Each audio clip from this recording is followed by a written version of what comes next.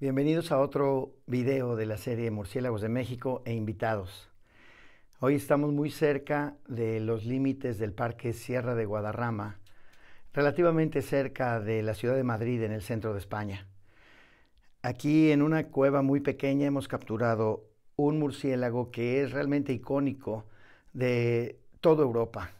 Es un murciélago de herradura, es el murciélago de herradura mayor, Rhinolophus ferromequinum Rhinolophus ferromequinum tiene la distribución más amplia de cualquier rhinolofido en Europa.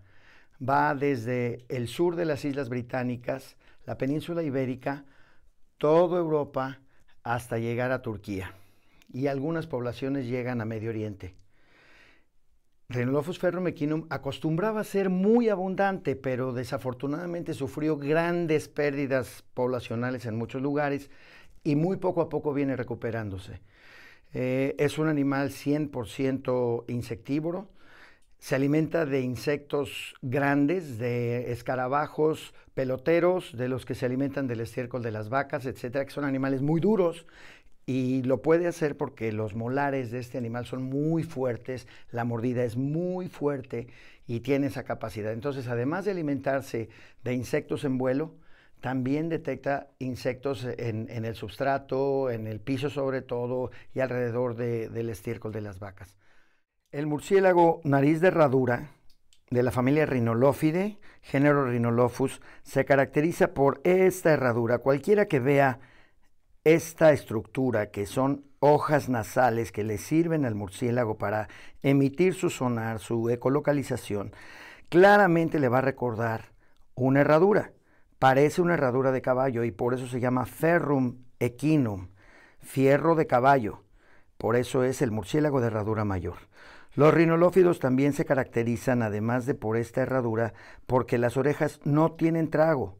Vean ustedes, y las orejas es un cono básicamente y no tiene ningún trago que, detenga el sonido o que impida que los rinolófidos se eh, retroalimenten con el, con el sonido que emiten por la nariz. Eso quiere decir que no se están, no, no, no se retroalimentan, no existe el peligro de retroalimentarse. Otra característica de los rinolófidos es esta cola que a primera vista parecería una cola de un vespertiliónido porque llega al, a la punta del uropatagio, al extremo del uropatagio, pero el uropatagio no es triangular como en el caso de los vespertiliónidos. En este caso está truncado, es recto el borde eh, del uropatagio y la cola le llega hasta el, hasta el extremo. Y el, el, antebrazo de Rhinolophus es curiosamente curveado. Si nosotros comparamos un antebrazo de un rinolofido con un antebrazo de un vespertilionio, por ejemplo, vamos a ver que el del vespertilionio es mucho más recto que el del rinolofido. Las alas de los rinolofidos son relativamente cortas y anchas, es decir, es un animal muy maniobrable, con un vuelo de mucha maniobrabilidad que puede moverse entre la vegetación, puede moverse bajo el dosel de los, eh, de los árboles y no vuela tanto por arriba del dosel de los árboles, es decir, está buscando su alimento entre la vegetación. Con eso entonces ya sabemos que es un Rhinolophus ferromequinum.